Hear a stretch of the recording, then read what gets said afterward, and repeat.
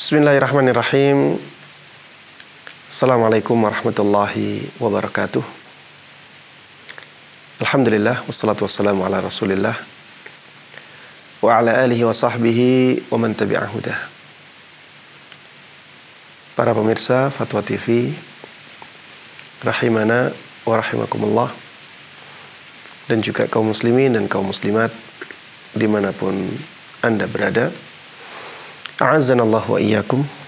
Pada kesempatan kali ini kita akan membahas pertanyaan dari saudara kita Ibnu Iyas dari Bandung, Jawa Barat. Pertanyaannya, Bismillah, Assalamualaikum Ustadz. Waalaikumsalam warahmatullahi wabarakatuh. Menghadapi Idul Adha pasca pandemi, mulai marak jual beli online hewan kurban. Bahkan ada di salah satu marketplace berwarna hijau me mengasung kurban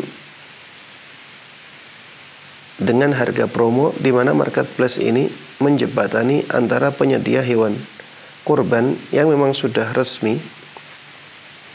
Maksudnya dapat izin dari pemerintah Apakah jual beli hewan kurban online yang diadakan marketplace tersebut dibolehkan dalam syariat?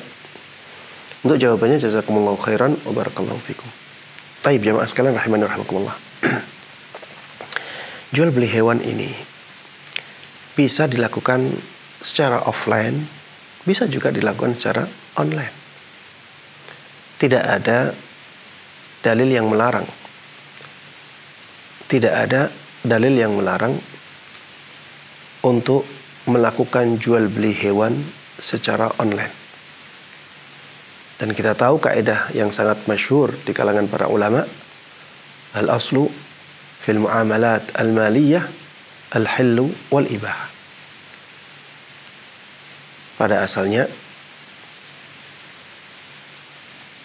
muamalat maliyah itu boleh dan halal Iya selama tidak ada dalil yang melarangnya. Dan yang saya tahu tidak ada dalil yang melarang jual beli hewan secara online.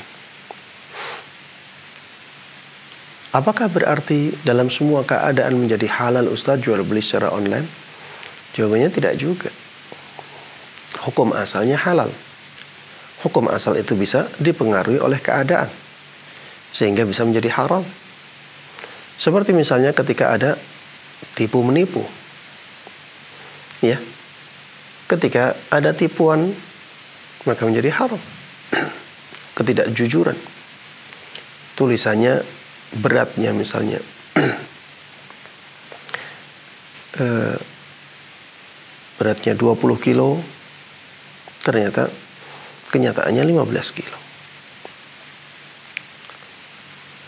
Yang dijual kambing Jawa, ternyata yang datang domba. Ini penipuan. Yang dipampang gambarnya cantik sekali, ya. Ada tanduknya yang indah, warnanya sangat bagus.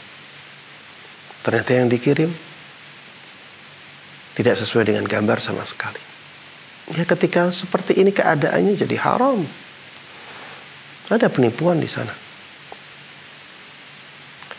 Bilang stok tersedia. Ternyata sebenarnya bukan milik dia. Ini juga penipuan. Maka ketika terjadi penipuan-penipuan seperti ini, yaitu yang menjadikan jual belinya diharamkan.